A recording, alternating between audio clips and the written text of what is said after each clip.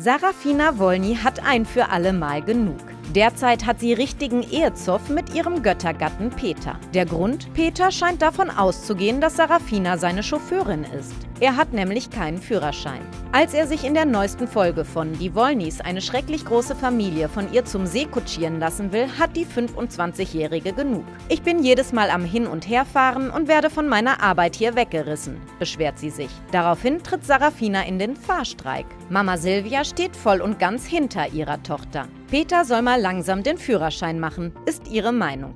Sogar finanziell würde sie ihn unterstützen, sagt die Elffachmama. Peter gesteht daraufhin, dass er große Probleme mit der Fahrprüfung hat. Er ist bereits zweimal durchgefallen. Die Wollny-Mädels können ihn schließlich aber doch überreden, wieder in die Fahrschule zu gehen. Wie das ausgeht, sehen wir in der nächsten Folge der Wollnys.